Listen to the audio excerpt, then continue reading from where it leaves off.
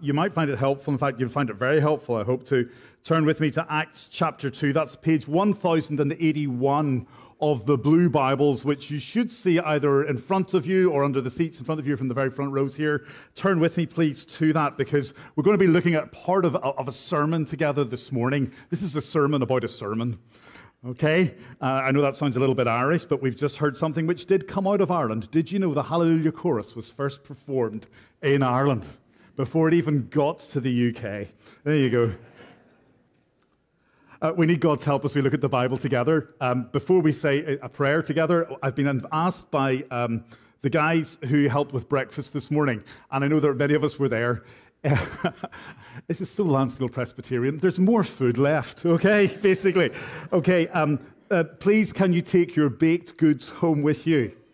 If you would not like your baked goods, there are Ziploc bags available. If you'd like somebody else's baked goods, you can take them home with you, okay? Um, thank you indeed for everybody who helped this morning, and thank you for uh, a, a, just a great time together already today. Uh, somebody joked to me before this service and before, uh, it, you, you, oftentimes during a sermon, I will say, nudge your neighbor. Give your neighbor a real nudge right now, okay? Especially if they've had breakfast this morning. Um, we need God's help as we look at the Bible together. Let's all pray. Our gracious Heavenly Father, we do thank you so much that we are here because Jesus is alive. And Father, we pray that this morning, as we look at the Bible together, you, by your Holy Spirit, would speak to us and that we would understand more about what that means and the difference knowing that Jesus is alive makes to our lives. Bless us, we ask. We need your help, and we ask for your help now. In Jesus' name, Amen. Well, I actually come from Northern Ireland, and, and uh, for a, a, long time was involved in, in different bits of, bits of uh, broadcasting uh, with our church back in Ireland. And on one occasion, I had to do something for a production for a TV show um, in Ireland, um, where we went into uh, Belfast and did a survey, a vox pop with a, we went out with a camera crew. And we asked people a very simple question What do you think of Jesus? Now, I'm sure you can appreciate the answers were varied. Uh, some said never believed in him. Others would say he's just a man. Some people would say he's an example to follow. Some said, you know, he's the son of God. Maybe they came from a church background, but they, they weren't quite sure what that meant. Uh, one lady misheard me completely and said, well, personally speaking, I don't like wearing jeans. I prefer trousers. And, and we then had to explain to her what the real question was. But there was one answer which I remember very specifically. One lady turned to me and she said, Oh, he's everything. I mean, he's the main man. Uh, what she was getting at was that, that he was absolutely everything in her life that's the issue that many of us might have, actually, because why should Jesus be everything for us? Why? Um, you can see from Acts chapter 2 that that's actually the conclusion that people reach. Um, if you turn over the page, page 1082, you'll see there uh, Peter who a few weeks previously had actually been denying that he even knew Jesus. He was pretending that he wasn't a disciple because he didn't want the, the pressure that came with being associated with Jesus, who was on trial at the time. Peter is now boldly standing up in front of hundreds, thousands of people, it seems. And he says this in verse 36 let all the house of Israel therefore know for certain that God has made him, that's Jesus, the risen Jesus, both Lord and Christ. This Jesus whom you crucified. So it's quite evident from Peter's point of view, Jesus is now everything. We're not quite sure what those mean, those terms. We'll talk a little bit about that as we look at this sermon together. But then the response of other people in the following verses seems that they get the idea that Jesus is everything. So you see there, um, verse 37 now, when they heard this, they were cut to the heart and said to Peter and the rest of the apostles, Brothers, what shall we do? And Peter said to them, Repent and be baptized, every one of you, in the name of Jesus Christ for the forgiveness of your sins, and you will receive the gift of the Holy Spirit. For the promise is for you and for your children and for all who are far off everyone whom the Lord our God calls to himself. Now, that word repent means a change of mind, a change of attitude, a change of direction. Everything changing. Um, baptism was a public declaration of faith in Jesus. And we're told that on that very first day of Pentecost, or that very first day of the church, essentially, the New Testament church, uh, this day of Pentecost, when the Holy Spirit comes, about 3,000 people are added to the number that day. You can see that in verse 41 of our reading. Jesus is everything to these people. He's making a massive difference to them. But, but why should it? Many of us would say, I am a follower of Jesus, but actually the difference he makes to my life is minimal, or I struggle with certain areas. How can I make him everything over my temper? How can I make him everything over the stuff I watch on my phone or, or on the screen? How can I make him everything over my parenting or my marriage or my desire to be married or my desire not to be married? How can I make him everything over an, you fill in the blank? Uh, and some of us, we're not followers of Jesus here this morning. Can I say you are really welcome? It is just so good to have you because what we're hearing today, I would suggest, is life changing and is the most important news you will ever hear. Now, why can I say that? Well, let's look at this sermon together and see if we can find some of the answers. Um, we're in uh, Acts chapter 2, and uh, in the context, the Holy Spirit has come. It's the day of Pentecost. Uh, the disciples, the apostles, are able to speak in different languages to people who they've never met before, in languages they've not learned, but they're understood by these people who come from these different countries. That's that speaking in tongues thing that's talked about here. And the point that people sometimes think of at this point, or sorry, is that, that at this moment, some look at the apostles and think, well, they, are drunk. You know, they, they've been drinking.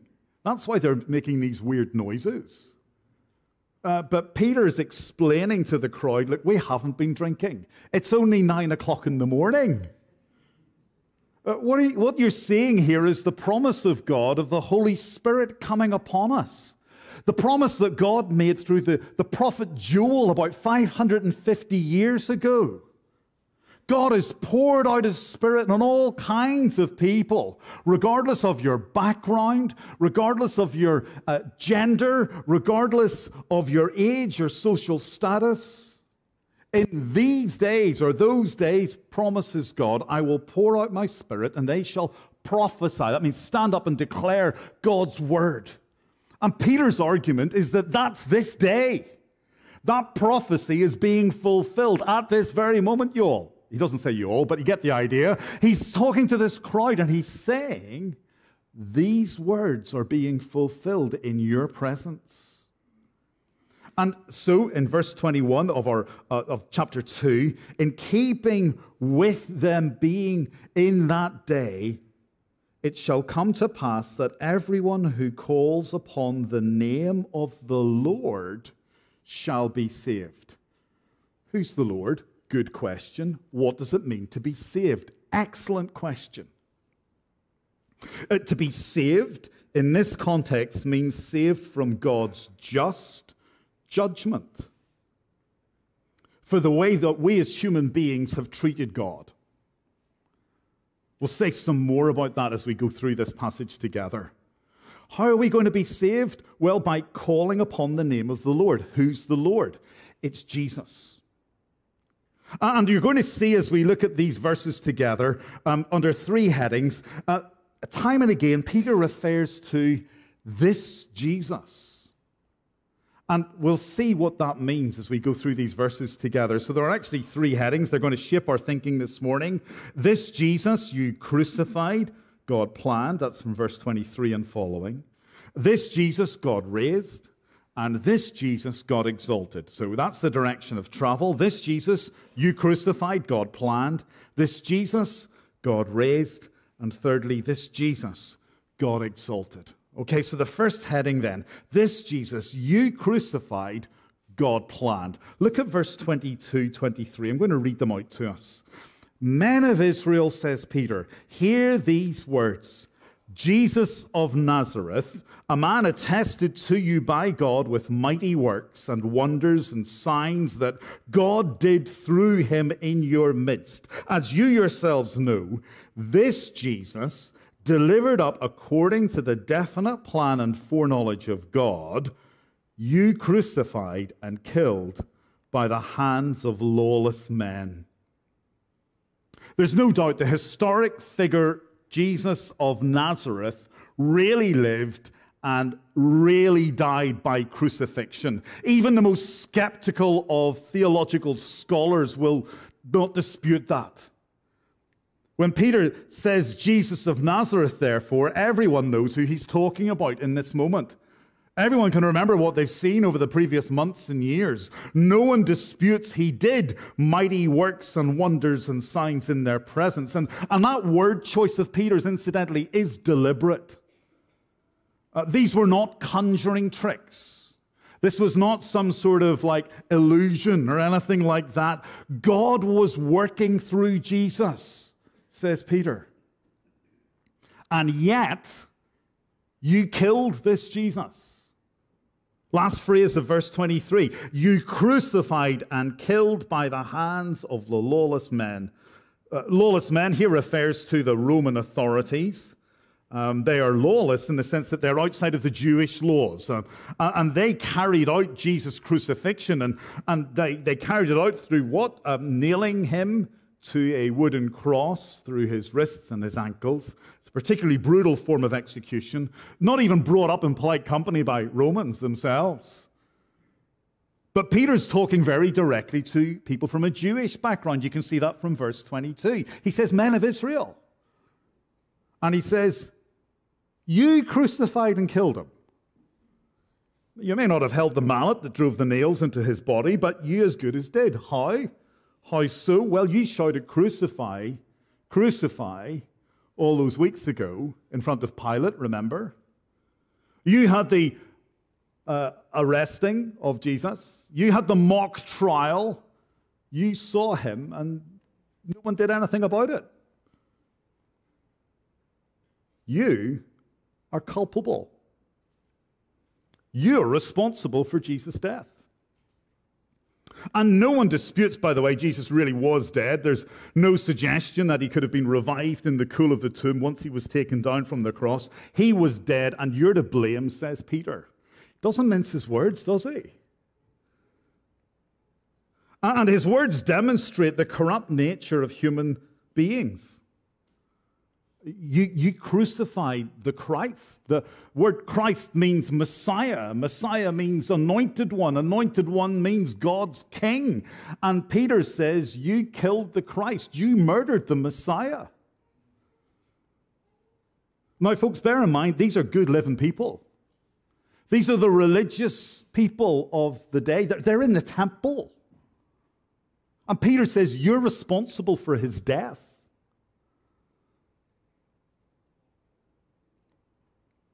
And, folks, uh, we try and do exactly the same thing. You might not say, well, I don't want to murder Jesus. I don't want to murder the Messiah or crucify the Christ. And yet, what is it we do when we try and push Jesus to the sides of our lives? Marginalize him, refuse to acknowledge that he is king over everything in our lives we're, we're treating him as if he doesn't count, as if he doesn't matter, as if he were dead to us. But Peter's words not only demonstrate the corrupt nature of human beings, alongside that, verse 23, we can't ignore the importance of these words. Did you notice it there? This Jesus delivered up according to the definite plan and foreknowledge of God. Yes, says Peter, your actions or your real choices, your real decisions, they need to be set alongside the truth that God was at work in and through you at the very moment that you were doing what you did. Jesus was, we're told, was, was delivered up. Now that means he was handed over or surrendered. Now that could be referring to his betrayal and his arrest. More broadly, it could be referring to his suffering, his abandonment, his arrest, his mock trial, the torture, the crucifixion, the death. All of it, says Peter, was part of God's definite plan and foreknowledge. The cross is not a tragic, the cross is not a tragic accident. And all the way through the Bible, we see a similar kind of dynamic. People intending to cause harm and actively causing harm, but God using the very same intentions and actions for good. It shows how powerful and in control God truly is. The very thing that's aimed at bringing about the end of Jesus was being used by God to bring about the plan all along. His plan. So, folks, can I just say, as we on to the next point before we get there. The, the choices that you and I make are real. Uh, put it this way it's no accident that you're here today. It's no accident that you're watching online or listening to a recording of this. God foreknew it, God planned it. Will you listen to Him? So that's the first big point. This Jesus you crucified, God planned. Next heading. This Jesus God raised. We're going to read from verse 24 through to 32 here. God raised him up, that's Jesus up, loosing the pangs of death, because it was not possible for him to be held by it.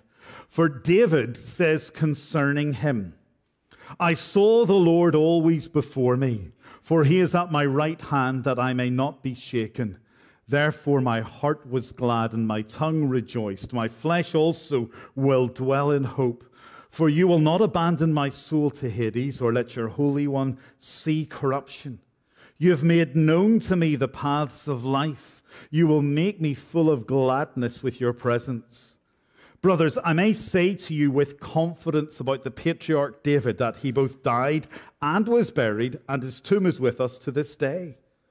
Being therefore a prophet, and knowing that God had sworn with an oath to him that he would set one of his descendants on his throne, he foresaw and spoke about the resurrection of the Christ, that he was not abandoned to Hades, nor did his flesh see corruption. This Jesus God raised up, and we're all witnesses. Uh, three things I want us to note just as we look at these verses together under this heading this Jesus God raised. First of all, Peter says that in the resurrection of Jesus, death is overcome. That's obvious in one sense because Jesus rises from the dead, but in verse 24, Peter explains that God raised him up, Jesus up. Why? Because it was impossible for him to be held by death. Now, why is that? Well, it's because Jesus didn't deserve death. Um, we hear the word sin used a lot around here. You'd expect to. It's a church. But, but what does it mean? Well, um, some of you have heard this illustration before. We, we live with the mindset of Burger King. You know the BK title? Uh, BK, you can have it your way, you rule um, you know, there's, there's nothing new under the sun. It might work okay with a burger, but, but when it comes to the Creator God who made us, we don't say we're in charge. It doesn't work. And that rebellion, which says it's my way, God, or the highway, which is essentially what sin is, that rebellion against God leads to death. Physical death, moreover, spiritual death.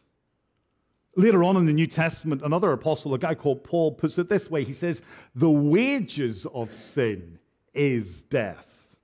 Our sin, our rebellion against God, earns us death. But, but Jesus was perfect, completely perfect. He doesn't deserve to die, he hadn't earned death. He didn't deserve those wages. Yet, he actively, voluntarily dies on the cross in your place and in my place. That, that's what's happening at the cross. He's dying in our place. He's paying the wages of sin. But, but look again at verse 24. We're, told here that death can't hold him. It's as if deaths in labor and, and the pangs of, of, of, of labor pains are, are such that, that, that Jesus just can't, he overcomes it. Uh, death is dead. It's impossible to keep a good man down. It's impossible to keep the perfect Son of God down. A second thing to notice is that um, God raising this Jesus is in keeping with the Jewish scriptures. Now, this is really important because here uh, Peter quotes a psalm from King David. This is Psalm 16. And it's significant because God had made a promise to David that one of his descendants was going to be on the throne forever. Peter refers to that in the sermon a little moment later on. Uh, he's referring to places like 2 Samuel chapter 7. One of your descendants, God says, is going to be on this throne forever. And, and in Psalm 16, which is written about a thousand years before Jesus walks on the earth, David prays with confidence. You're not, verse uh, 27, you will not let your Holy One see corruption. You'll not abandon my soul to Hades. That's uh, uh, Sheol, the place of the dead. Now, in the first instance, it does apply to David in the sense that he's asserting God's going to protect my life. And, many times that happens all the way through uh, David's life. God protects him, he looks after him. But here's the thing, says Peter. We all know that the patriarch, King David, ultimately died. In fact, if we were to go on a tour of Jerusalem today, if we were to go down, we could see David's tomb. We could open it up. We could do an exhumation. We could do the CSI DNA test. I know they didn't have CSI DNA tests, but if they were able to, they could do it on the remains there. We could find the remains of King David. So was King David lying when he said that the Lord would, wouldn't let his Holy One see corruption? No. Uh, Peter's point is this David is a prophet. He's thinking ahead. He's thinking ahead to this moment. Uh, think about what happened to Jesus. Um, we, we watched him die. We saw his lifeless body. We saw him wrapped up in those grave clothes. We saw him laid into a tomb. We saw a big stone put in front of the tomb. He was really dead. He was really buried. And here's the thing God didn't abandon Jesus' body to the place of the dead. God didn't let his Holy One's body see decay. Conclusion God raised Jesus, and in doing so, he is showing us that he, Jesus, is the long promised leader that you need and that I need and that you need and that I need today here in Lansdale in 2024. Jesus is the Messiah. And then Peter adds a third layer of, of evidence, as it were, in his case about how God has raised Jesus. It's in there in verse 32. This Jesus God raised up, and, and of that we're all witnesses. We've seen him alive. Several times we've eaten with him, we've spoken with him, we've touched him. Dead men don't do that. Ghosts don't do that. And the rest of the story of the book of Acts and the story of the church history demonstrates that Peter and the other apostles are so convinced that Jesus is alive that they are willing to die for their faith.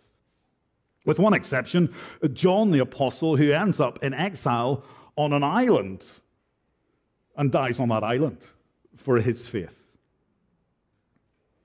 Conclusion this Jesus, God raised. But that leads to another question where's Jesus now?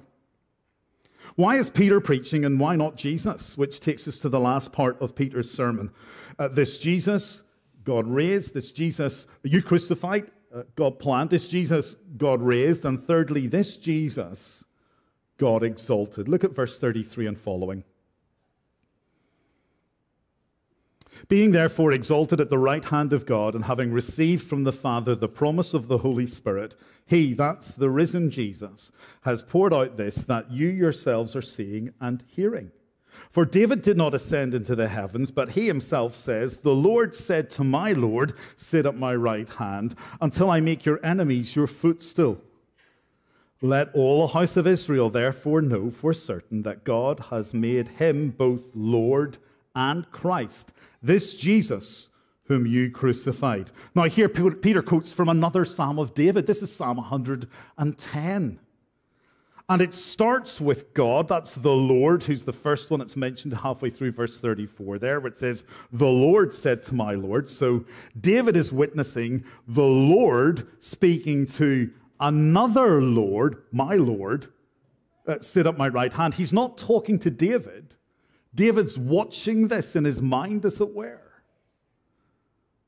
He, he's saying someone being put in a position of supreme authority.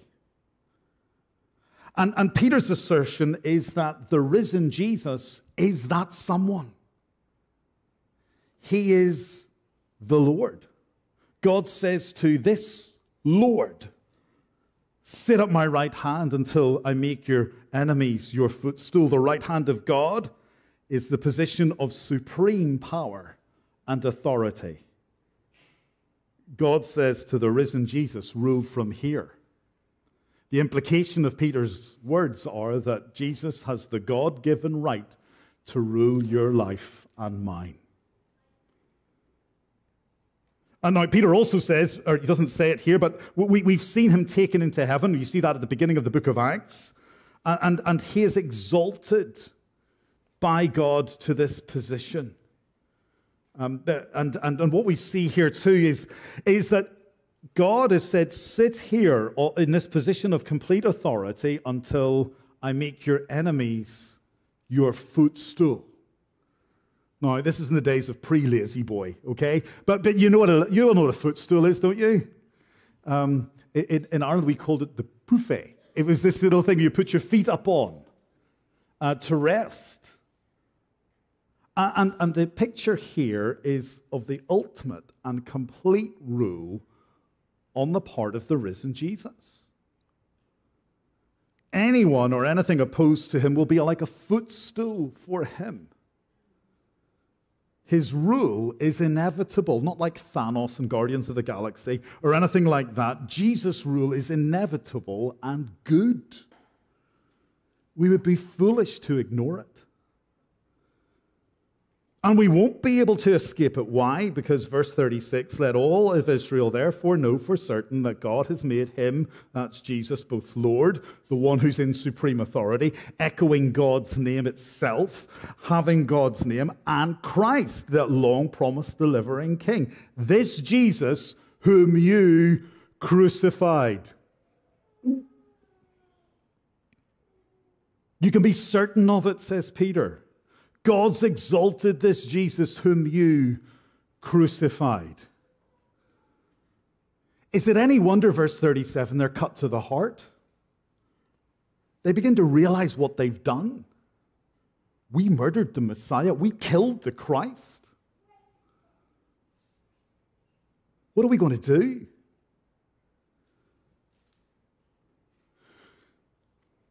If Jesus rules, then he has the right to rule our lives in every way. That's why Peter says, Repent. Stop going your own way. Go Christ's. Be baptized, every one of you, in the name of Jesus Christ for the forgiveness of sins. Forgiveness of your sins, and you will receive the gift of the Holy Spirit. Some people say, you know, I'm too bad. I'm beyond God's reach. You don't know what I've done. I, may not have killed the Christ, but I've, I've killed. Maybe literally. Maybe that's the case for some people in this room this morning. But in my words, I assassinate. In my actions, I live as if people were dead. I've treated Jesus as if he doesn't really matter. He's a swear word. There's no way God can have me back. But, but remember who Peter's talking to. He's talking to people who quite literally did murder the Messiah. And he says, when you repent, you're completely forgiven. Repent and be baptized, every one of you, in the name of Jesus Christ for the forgiveness of your sins. And then he goes on and says, And you know what? You're going to enjoy what we're enjoying right now. You will receive the gift of the Holy Spirit. Tim Keller very famously put it this way we, we are more wicked than we ever realized, but we are more loved than we ever dreamed. Think about that. You are more wicked than you realize, but more loved than you could ever dream. What will it mean for us to submit to this king today? You've heard me talk about this lady before. Queen Elizabeth II, one of the uh, biggest, most influential leaders of the, of the world in the last hundred years, at her state funeral in September 2022. Uh, at it, all of the world's leaders, presidents, prime ministers, monarchs were gathered in Westminster Abbey in London. And before her death, the Queen, who was a follower of Jesus herself, she, she'd chosen all of the hymns and things that were going to be sung and the Bible readings that were going to occur at her funeral. Uh, they included um, a hymn entitled Love Divine, All Love's Excelling by a guy called Charles Wesley.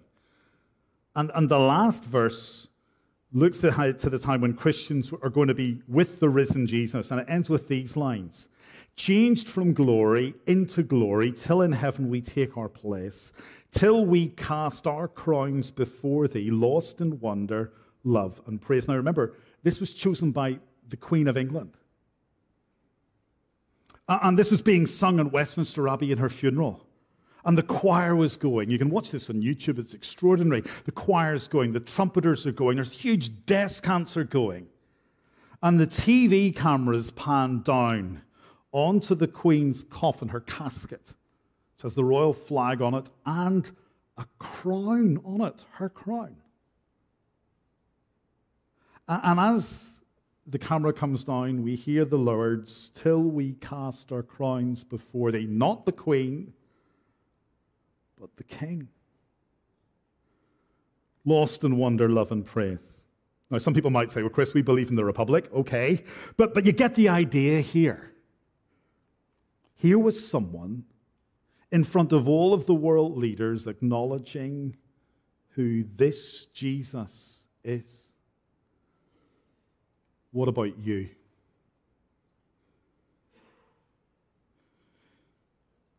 If this offer is being made to the people who murdered the Messiah, there's nothing that can't be overcome by God. You are not beyond his reach. He can wipe the slate completely clean be wonderful if this Easter time you were to come to this Jesus. You want to find out more? Come along to our Sunday school class that Pastor Brian talked about a few weeks ago, gospel shaped living. See what living as part of this community is all about, but come and talk to me afterwards as well. Maybe today you know you've got to do business with this Jesus. Many of us would say we've taken that step we are followers of Jesus Christ, but we're trying to work out what does it mean for him to be king over all of those different areas. But folks, if he has conquered death, if he has conquered the grave, if he has conquered sin, if he has conquered the hold that sin has, he can conquer what is stopping you submitting to him as Lord in your life today. This Jesus, you crucified and God planned. This Jesus, God raised. This Jesus, God exalted. Submit your life to this Jesus today. Let's pray together, shall we?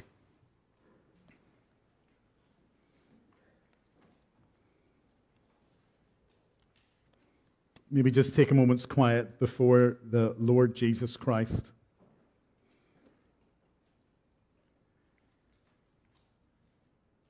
And in your hearts, quietly talk to Him.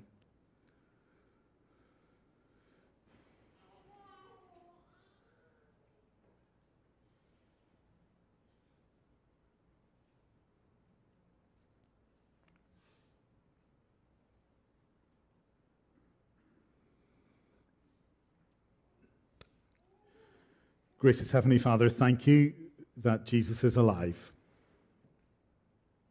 Thank you that you raised him from the dead.